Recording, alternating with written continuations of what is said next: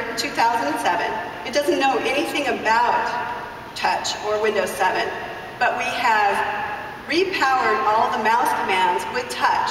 So even though it doesn't know anything about it, I can go ahead and scroll, I can go ahead and zoom, and do things that Word can do with the mouse with touch.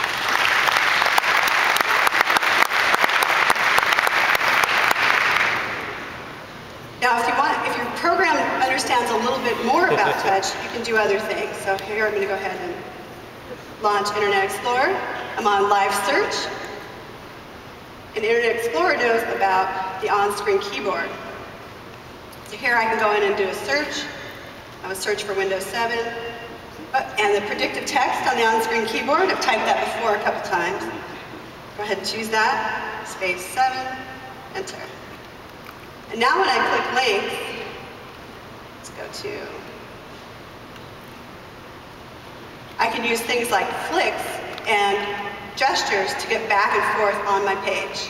So I go back with a flick, I can go forward with a flick. So very quickly, with just a few, great. so Windows 7 supports a whole range of gestures and a whole range of mouse movements that can become gestures.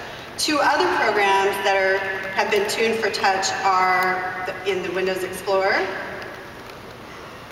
Here's the picture view. You can quickly and easily scroll, get a little feedback when I'm down at the end there. And a new program, a new refacing of Microsoft Paint with the new ribbon. We've been working with the Office team on bringing the ribbon to Windows. We've also decided that once every 15 years or so, we're going to update the applets in Windows. So, uh,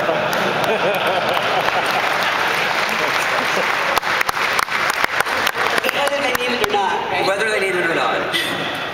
So you'll find things like a new calculator, new WordPad supporting uh, open document format and open XML, and uh, all kinds of new things there. But here I am in Paint, and the ribbon interface makes it very easy for me to use it with touch. I'm going to go ahead and take a picture from here and drag it over. And then I'm going to use, bring it and dock it at the top. So you can see it. And then I'm going to use the brushes to go ahead and pick the size and I'm going to say hello from Seattle on my postcard.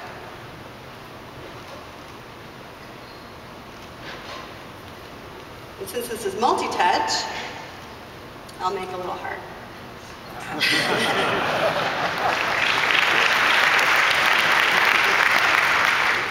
so those are some examples of applications that don't know anything about touch, but can be augmented with touch automatically through the mouse commands. Some applications that have learned about gestures and programmed specifically for scenarios in touch. And then there will also be applications that use touch as a primary way of input.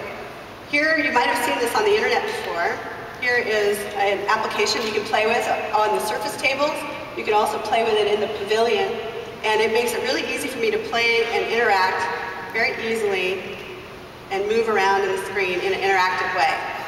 And we think there'll be lots of very cool applications coming out.